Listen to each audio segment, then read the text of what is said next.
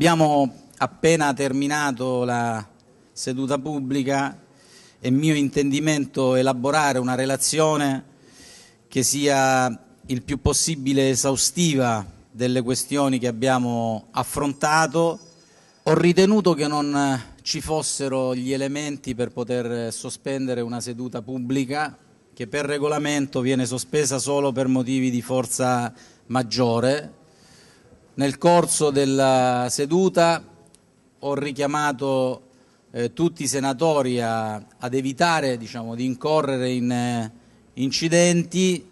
Eh, lo stesso senatore Crimi mi ha dimostrato eh, di aver eh, postato qualcosa era, del, del quale non era autore principale, ma in uno spazio temporale precedente all'avvio della seduta pubblica e quindi sicuramente non durante i lavori della eh, Camera di Consiglio. Questo mi è sembrato sufficiente a poter non immaginare che esistesse nessuna ragione per poter eh, sospendere una seduta e per quindi interrompere i lavori. Come, come capogruppo del Movimento 5 Stelle nella Giunta esprimo la nostra massima soddisfazione per il risultato di oggi. È prevalsa in questo Paese finalmente la responsabilità, il senso delle istituzioni e il rispetto della legge. La legge Severino è stata applicata nei termini che avevamo richiesto, con l'immediatezza che la legge richiedeva, è stata data più ampia facoltà di difesa all'onorevole Berlusconi. Ci attendiamo che in aula il voto sia palese in modo che tutti i gruppi politici possono assumersi la responsabilità del voto che esprimeranno sulla decadenza di Berlusconi. Io non giudico un collega, tanto più per un post eh, fatto prima di entrare nell'audienza, lo spiegherà lui, l'ha già spiegato in eh, giunta, l'ha già spiegato il Presidente, non era di alcuna rilevanza.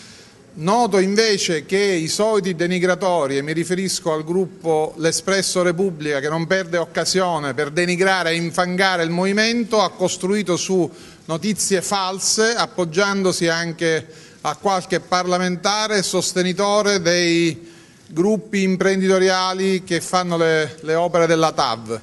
Ecco, questa è veramente stata un'azione riprovevole. Qui è bene chiarire che in discussione non era la possibilità di applicare una pena accessoria nascente da una sentenza definitiva di condanna, che era una questione ovviamente della quale bastava prendere atto, non era una questione controversa.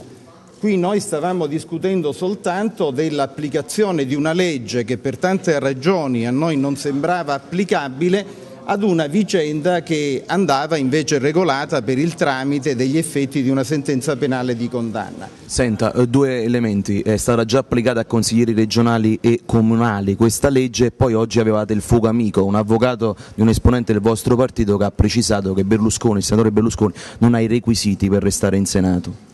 Dunque, intanto eh, anche questa considerazione ha costituito, questa sua considerazione ha costituito oggetto di valutazioni da parte nostra. Le repliche sono ovvie alle sue eh, domande.